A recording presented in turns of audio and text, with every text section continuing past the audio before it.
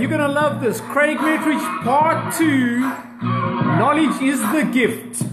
Maybe I'm foolish, maybe I'm blind, thinking. So, guess what? Maybe I'm foolish, maybe I'm blind, maybe I'm only human. This is a live vlog, part two, talking about online business. Let's get into it. I need a thumbs up, a love, and a like if the signal is good. And we're going to talk about part two of creating an online business. Go and look at part one was the vlog I did yesterday.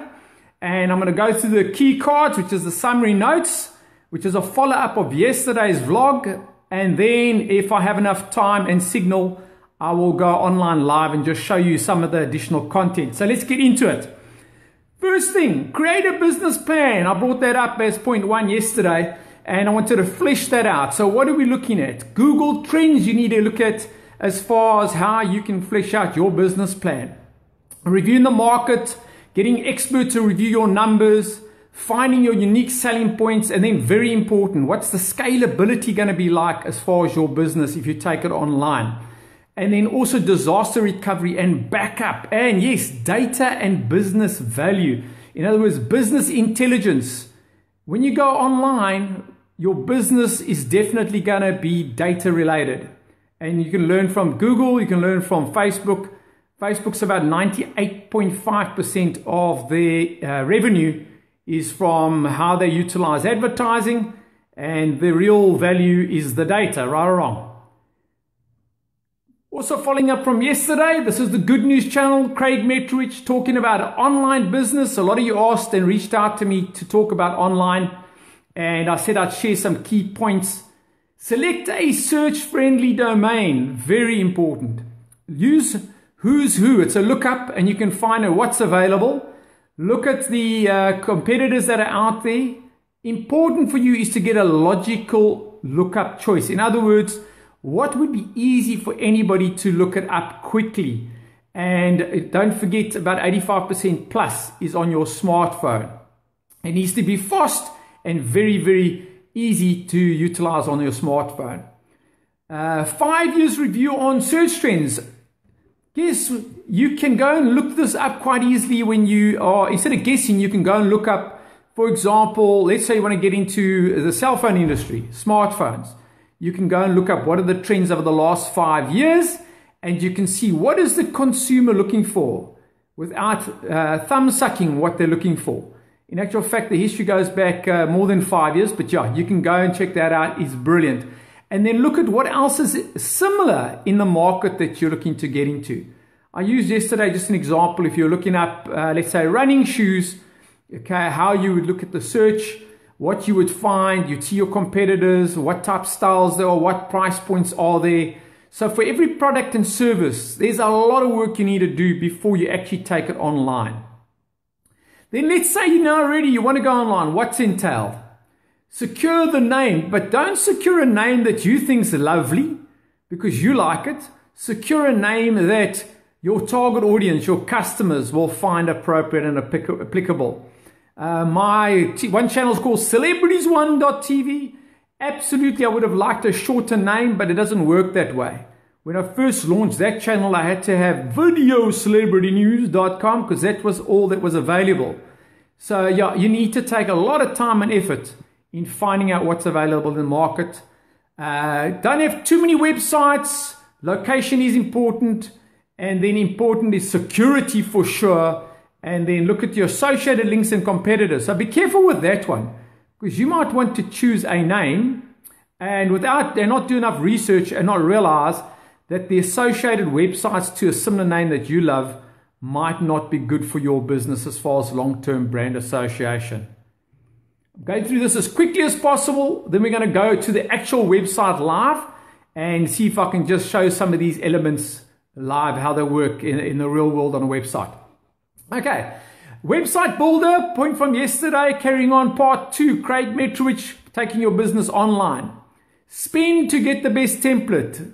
Okay, it makes sense. You have to spend money to go online. Uh, it does cost money. Nothing's for free. Note I said that yesterday. It's all billable. But what is important, whatever template you go for, whatever uh, website content management system you go for, find out what does it cost after the fact. then to develop it. All right, so look at the what they call developers rates. In other words, what would it cost you to maintain it? What would it cost you to outsource it? What would it cost you to develop and take it to the next level? All right, always view on PC, tablet, and mobile. I use WordPress quite a bit. I enjoy it because it's quite easy to view between the different, the three different formats. And I will show you that just now when we go live online and I show you the actual site. Colors, fonts, text, very important for creating your style and your look and feel. And then wireframe. What is a wireframe? That is like the outline. It is a template, you could say, of the website, the layout of the website. So there we need to remove the complexity. Uh, click-throughs, you want as, as few click-throughs as possible. And how to measure your website. Guess what? Think about what you love. What app do you love? What website do you buy from all the time? What app or website impresses you on your smart, smartphone all the time? Why do you love that app? Why is it so effective? And then learn from that and then utilize it in your online business. Alloc- allocate time to refresh content. Websites in general, online businesses require a heck of a lot of time. And then I've put in another point uh, user experience interface. In other words, the design. If you can get a couple of friends in there to test your website and your uh, your app, should I say, the online side before you really roll it out. You know, you can get some of their feedback. I'm going through this as quickly as possible, and then we'll go into the actual site itself just as, as a demo. Enable e-commerce plugin. So what's a plugin? I did get people asking, what does that mean? You get the website itself, and then within the website, you can choose different types of e-commerce plugins. Do your homework on that as well, because once you you know, you grab the plugin and you link it, then guess what? You're going to put a lot of time and effort to populate it, and you want to make sure it's right. Uh, I'm not going through all the points, but very important is the tax compliant, local support, currency conversion. All those are very important. So don't just go and select a site because everybody else says it's great. Is it great versus your local requirements? Okay. Is there support locally? Is there a call center locally available? Is there a physical building locally available?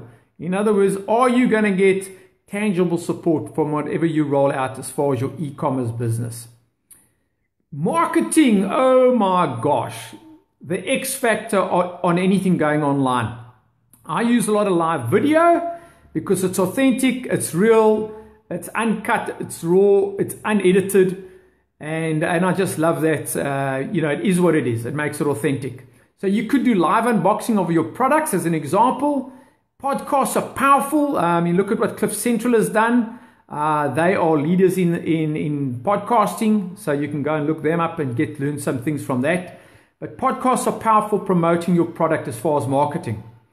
Customer reviews. Never underestimate the power of customer reviews and you need to take those seriously.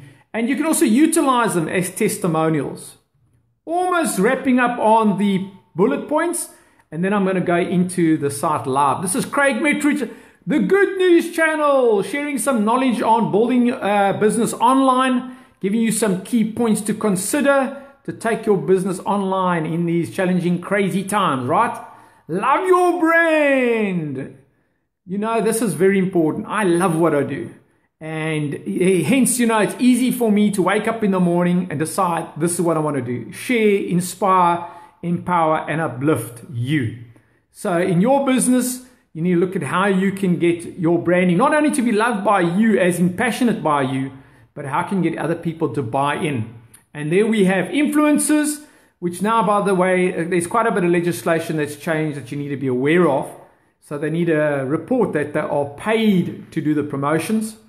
And then think about celebrities, sports stars.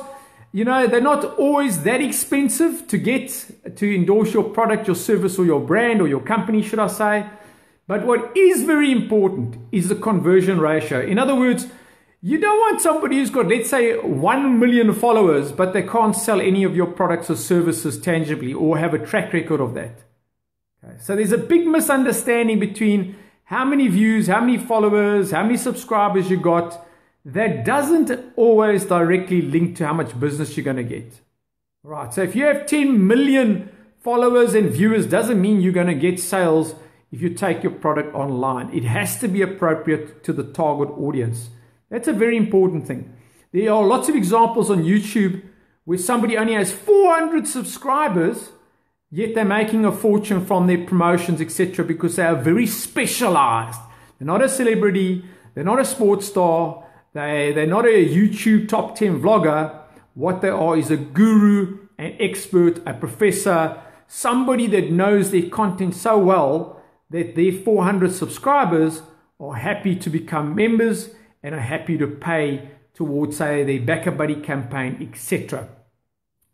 Right, leading to the final point here, and then I'm going to go online if I can and multitask and show you some of the just the practicalities of how website looks for those that don't know. So volume value value is very important to achieve the return on investment. So whenever you look at something going online, it is not going to be easy. It's going to be easier with people like me sharing content, but it's hard work, right? It's like starting any business. It's going to require a heck of a lot of work, lots of time, lots of effort, preparation, research, but it's not as complicated as you thought prior to watching part one and part two. Right, so Craig Metrowich, I trust that that gave you a little bit of a snapshot on what it's all about. I'm just trying to share with you the ins and outs of setting up your business and taking it online. Uh, and in part one, I really wanted to energize you and get you, you know, to understand. Look, you can learn all these things. You can find out online through search engines different things on how to do WordPress, how to do Wix, how to do an e-commerce site per se. What are the different applications? Because a lot of you are now seriously having to consider taking your business online. And my strategy in these vlogs is to just inspire you and energize you to take that first step, should I say. Let's go into uh, the actual site. I'm going to use a site as an example. Bear with me, I'm just multitasking. And uh, please, comments, just send me via messenger any comments, and I will try and respond to those accordingly. And just, you know, uh, share with you some of the stuff that I know. I don't know all the answers, obviously, but I have built over 40 websites. And so from that point of view, I've learned probably the lots of mistakes, what not to do versus what to do. And I can take some of the pain and suffering away for you by uh, just making it a quicker process for you. Right, let's get my face out of here. I want to go straight into showing you the actual uh, site. Right, here we go. Okay, so yesterday I touched on this. This is just a WordPress example. It's one of my sites. And I wanted to just show you the wireframe. What is a wireframe template? So this is really the layout, right? And as you can see, it might seem over the top initially. But what I love about it is there's a lot of logic to it. So the layouts of the pages, you just scroll as an example. This is all live, by the way. Okay, this is not screenshots. So you'll see that's the layout of my actual website. That's under urpowerful.com. All the different content.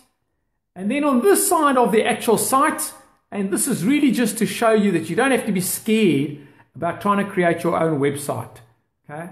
It's posts that you would actually populate, the media library, which is where you would add all your photographs, your videos, your PDFs, all of that would go in there. I'll click in there intentionally just to show a bit of a layout.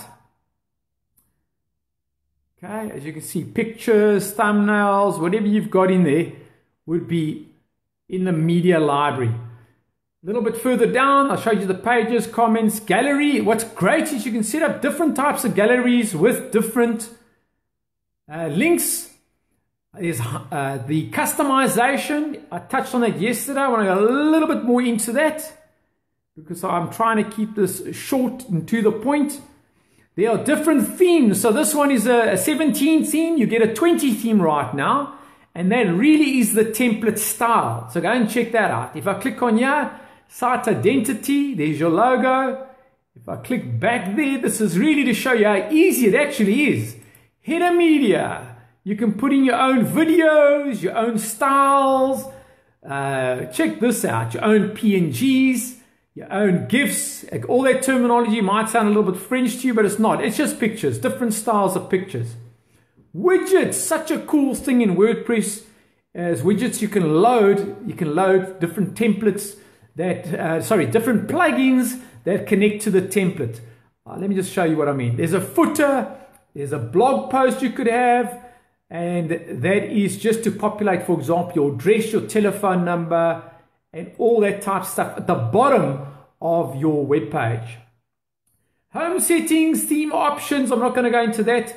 And those who know coding, so anybody who says, oh man, I know all of this stuff, then guess what? You can put additional coding in here. In other words, by using coding, you can change the background, you could change the logos, you could change the styles. In other words, all these elements that I'm showing you here, just scrolling through my site, okay, this is live. All those elements you could change very quickly online, instantly. All right, this is heading towards the wrap up. So let's just go into there quickly. Let me get me back into frame. There we go. Right, so this is Craig Metrowich, Celebrities1.tv, the good news channel, and this is part two, just to share with you some knowledge about how you could go online and build your own website. I will put the slides that I show you, the templates up, the keynotes I call them. I will put them up now now so that you can just follow them through when you decide to take your business online. Uh, and I really, really want to support you and encourage you to take some time, think it through. It is a business that you're creating almost from scratch. So don't just, uh, you know, think about it as in, oh, I'm taking it online. I'll use exactly what I've done in my current business model. You certainly need to now look at how you can take your business to the next level. And then, and look at, for example, I'll use like Takealot. They're a great example of how businesses have gone online. They've grown exponentially over the years. But if you go and do your research, you'll see they've taken many years to get that business to operate. And at their scale, it obviously takes a lot of funding at their scale. So for you, my audience, this is Craig Metrowich wishing you all the best in setting up your online business. Love you, care for you, want you to be successful. That's a wrap.